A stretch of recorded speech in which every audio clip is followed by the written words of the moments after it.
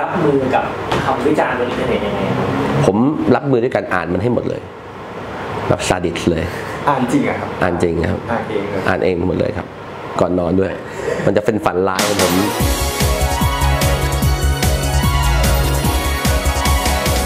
ผมจิรัตน์บวรวัฒนะนะครับ เป็นกรรมการผู้จัดการบริษัท BNK f o r t e Office ครับ เราทำเองก็แน่นอนว่าเราทำได้ไม่ดีมากนัก ถ้าเกิดเทียบกับคนที่มีประสบการณ์และความเชี่ยวชาญ เราก็พยายามจะหาคนนั้นอยู่อยู่เสมอจนกระทั่งมีโอกาสได้มาพูดคุยกับ Workpoint ซึ่ง Workpoint อย่างที่พวกเราทราบกันดีว่าเขาก็เป็นเจ้าแห่ง Variety และ Game Show นอกจากเป็นผู้ผลิตรายการที่มีฝีมือแล้ว ก็ยังเป็นเจ้าของสถานีโทรทัศน์ที่มีเรตติ้งสูงทางเราเองนั้นจึงมีความสนใจเป็นอย่างมากที่อยากจะทำงานร่วมกับ Workpoint โดยไม่ยิ่งการพัฒนาคอนเทนต์ในรูปแบบของรายการ Variety และ Game Show ต่อเนื่องไปจนถึง Produce งานอีเวนท์ที่น่าสนใจน่าสนใจต่อๆไป รวมถึงการทำออนไลน์ content บางประเภทวันนี้ความท้าทายของเรา มันเป็นเรื่องของการที่เราทำให้เกิดการรับรู้ รับทราบ รู้จัก ชื่นชมของน้องๆ BNK48 ในระดับเรียกได้ว่าเป็นแมสแล้ว นะครับแต่ความท้าทายเราก็ยังมีอยู่ในฐานะ Management สิ่งที่เราต้องทำให้ได้ก็คือความยั่งยืน ที่ญี่ปุ่นอยู่มา 13 ปีแล้วนะครับตั้งแต่ปี 2005 จนถึงวันนี้ก็ 13 ปีแล้ว หัวใจสำคัญคือทำยังไงให้ BNK48 อยู่แบบ sustain หรือยั่งยืนแบบนั้นครับเราเป็น talent ที่เป็นกลาง แต่ได้มีโอกาสทำงานร่วมกับพี่ ๆ ในวงการที่มีความเชี่ยวชาญในแต่ละด้าน อย่าง Workpoint บางโปรเจกต์ก็จะมีพาร์ทเนอร์ติดมาด้วย เราเคยทำงานกับแซบแซบก็ยังจะทำงานกับเราในบางเรื่อง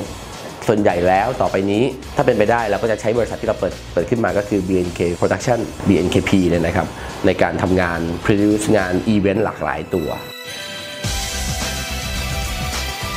บางโปรเจกต์ก็จะให้ BNKP ไปทำ บางโปรเจกต์ก็ยังจะหาผู้กำกับที่มีแนวทางตรงกับธีมของเพลงนั้นๆ ความสนุกของการตามน้องๆ BNK คือเรื่องราวที่แท้จริงนั่นแล้วนั่นก็คือความความเก่งความฉลาดของการทำงานของ Workpoint ที่จะเอาความจริงมานำเสนอ แต่ว่าถามว่าการจะตอกย้ำดราม่าด้วยความเฟกนั้นคงไม่ใช่แนวทางของ BNK จริงๆแพนบีเป็นผู้ถือหุ้นที่มีศักยภาพสูงในการที่จะ contribu ให้เราหลายเรื่อง เราเป็นกลุ่มศิลปินไอดอลที่มีการ เปลี่ยนชุดบ่อยนะครับ บางทีในหนึ่งซิงเกิลก็มีชุด 2 2 ชุดสำหรับ unit ที่ลงมา เพราะฉะนั้นการสื่อสารเนี่ย visual สำคัญ ไม่แพ้ไปกับบทเพลง เพราะฉะนั้นการสร้าง Impact ให้เกิดขึ้นกับสังคม วันนี้เราก็ได้ค่อยๆพิสูจน์เห็นแล้วว่าสิ่งที่ Plan B เข้ามา contribute คือการสร้าง awareness impact ที่ออกไปสู่สังคมไทยเราไม่ได้อยากทำเองทุกเรื่อง กลับกันนะครับ ผมไม่ได้อยากทำเองตั้งแต่แรกอยู่แล้ว แต่ว่ามันหนีไม่ได้ หันขวาหันซ้ายไม่มีใครก็กู หันขวาหันซ้ายไม่มีใครก็กู กูในที่นี้ก็เลยต้องทำกันเองทุกอย่าง ถ้าถ้าเกิดมองมาตลอดทำลายที่เราทำมา ผมว่าเราก็เป็นกลุ่มทีมกลุ่มหนึ่งที่ทำงานอย่างขยันนะครับน้องๆในทีมก็ขยันกันทำงาน ช่วยกันทำทุกเรื่อง น่าจะมีขยันที่จะออกงานเยอะแยะมากมาย ตลอดระยะเวลาหนึ่งปีที่ผ่านมา ผมว่านอกจากการเดบิวต์เพลง เรามีรายการทีวีสองรายการนะครับเรามีอีเวนต์ บทุกเดือน ผมว่าเราน่าจะเป็นกลุ่มที่มีความขยันครับ มันคือการเรียนรู้อะครับ ถ้าเกิดเรียกเรียกได้ว่าคู่สมรสก็สมรสกันมาจะสองปีละนะครับตั้งแต่ตั้งแต่จะตั้งบริษัทมา ผ่านร้อนผ่านหนาวมาด้วยกัน เห็นกันมาตั้งแต่ยังไม่มีอะไร เพราะฉะนั้นวันนี้ผมว่าหัวใจสำคัญคือ เรายังมีอนาคตอีกไกลที่ต้องไป เราก็ไม่ได้มองว่านี่คือความสำเร็จ เราก็พูดอยู่เสมอว่า อันนี้เป็นก้าวแรกที่สวยงาม ยังมีก้าวที่ 2 ที่ 3 ที่ 4 ที่ต้องทำอีกเยอะ ถ้าเกิด1ถึงร้อยผมว่ายังไม่ถึง 10เลยมั้งครับ ผมผมเคยพูดมาในหลายหลายพื้นที่ว่าผมอยากจะเห็นน้องๆ ไปเล่นคอนเสิร์ตที่ราชมังคลากีฬาสถานจุคนได้ 65,000 คน มันไม่ใช่หมายความว่าเราเพียงแค่อยากให้น้องไปยืนอยู่บนคอนเสิร์ตที่นั่นนะครับ ถ้าเกิดเราจะจัดคอนเสิร์ตที่นั่นจริงๆ ก็อาจจะมีแฟน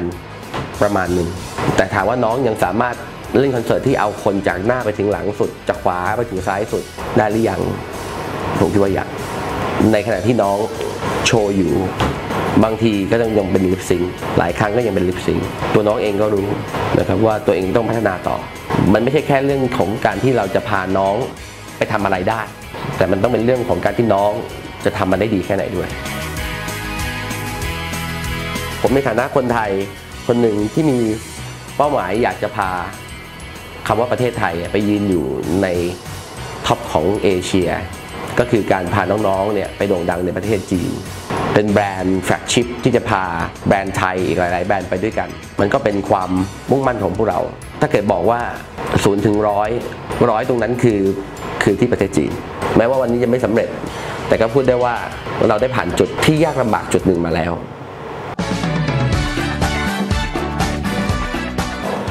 อบคือบอกไม่ได้ ถ้าเกิดบอกไปแล้วคุณก็ไม่สนุกเนี่ยใช่คุณต้องยอมรับตัวอย่างหนึ่งว่าความสนุกของการตาม BNK คือคุณไม่รู้ว่ามันจะเกิดอะไรขึ้น แต่ก็คุณมีสิทธิ์ที่จะคาดเดา ถามว่าช่วงนี้เป็นช่วงผลัดใบไหมผมไม่ขอขออนุญาตไม่ใช้คำว่าผลัดใบ ผมขออนุญาตใช้คำว่าการก้าวขึ้นไปหนึ่งหนึ่ง step ถ้าเกิดคุณเปรียบเทียบก้าวของที่เราเทียบก้าวของเราการที่เราจะมีรุ่นที่สองเข้ามาเนี่ยคนยังไม่เข้าใจนะครับคนนึกว่ารุ่นที่สองเข้ามาแล้วรุ่นที่หนึ่งจะไปไหนวันนี้ผมก็เป็นหน้าที่ที่ผมก็ต้องไปเล่าให้หลายๆคนฟังว่า ระบบเราไม่เหมือนรายการทีวีที่จบ season หนึ่ง season หนึ่งออกไป season สองเข้ามาแต่ความสนุกของระบบ 48 ก็คือ รุ่นที่ 1 อยู่ รุ่นที่ 2 เข้ามาทบเพิ่ม การแข่งขันนั้นสูงขึ้น รุ่นที่สามหนึ่งรุ่นที่สองอยู่ รุ่นที่สามในปีถัดไปเข้ามาถมเพิ่ม การเป็นการแข่งขันเพิ่มขึ้นมาอีก เลเวลหนึ่งและการตา BNK f o r จะสนุกขึ้น ในทุกๆ ครั้งที่มีการแข่งขันที่มากขึ้น ระบบอยู่ได้ด้วยการแข่งขัน ระบบอยู่ที่การโชว์ความสามารถ เราจะไม่เอาใครมาแทนใคร แต่เรากำลังจะบอกว่าทุกๆ คนมีสถานะและแรงกดดันที่ไม่เหมือนกัน แต่ถามว่ามีไหมมีคุณว่ามีไหมล่ะกับรุ่นที่สองนี่มันครับความสุขที่สุด คือทุกครั้งที่ผมเห็นคอมเมนต์ที่มีความสุขกับการตาม BNK ไม่ว่าคอมเมนต์นั้นมาจากคนที่มีความเศร้า ความทุกข์หรือสนุกและยิ่งตามก็ยิ่งสนุกก็แล้วแต่ ผมรู้สึกว่านี่คือโอกาสของการให้กลับไปสู่สังคม ในการเล่าเรื่องดีๆ positive สู่สังคม เศร้าที่สุดก็คงเป็นเรื่องที่เราทำอะไรบางอย่างหรือหลายๆอย่างที่ยังไม่ดี แต่ก็จะสุขต่อเมื่อได้พัฒนามันและทำให้ดีขึ้นทำอะไรก็แล้วแต่เราเราอยากทำให้ คนมีความสุขอะครับ ผมรับมือด้วยการอ่านมันให้หมดเลยแบบซาดิสเลย อ่านจริงอะครับ อ่านจริงนะครับ อ่านเองเลยอ่านเองหมดเลยครับ ก่อนนอนด้วย มันจะเป็นฝันร้ายของผม แต่ว่าผมอยู่กับมันได้แล้ว ผมอยู่กับคอมเมนต์ที่ด่าผมได้ ผมอยู่กับคอมเมนต์ทั้งชมทั้งด่ามาตลอดปีกว่าๆที่เดบิวต์มา แล้วผมรู้สึกว่าไม่ว่าคำชมก็เป็นกำลังใจคำติชมก็เป็นสิ่งที่เรานำมาพัฒนา ถ้าเกิดคุณดูทุกสิ่งทุกอย่างที่เราทำอยู่ วันนี้นำคำติชมมาใช้หมด ผมหัวร้อนเสมอกับทีมงาน เวลาที่เปิดอ่านแล้วทำไมมันเกิดอย่างนี้ขึ้น อย่างนี้ขึ้นกับทีมงานทุกคนก็ช่วยกันอย่างเต็มที่ที่จะพัฒนามันให้ดีขึ้นครับรุ่นสองกำลังจะเข้ามาแล้วครับ ความสนุกกำลังจะเพิ่มมากขึ้นต้องต้องต้องการกำลังใจ ฝากช่วยให้กำลังใจน้องๆด้วยครับขอบคุณครับอ่าขอบคุณมากครับถ้ามีบัตรจับมือสักใบอยากจับมือใครครับ ผมเหรอะคุณเชื่อผมไหมผมไม่เคยจะจับมือน้องเลยสักครั้งหนึ่ง และผมก็ไม่คิดอยากจะจับมือน้องด้วยทำไมอะ เพราะผมคือ CEO ของ BNK48 Office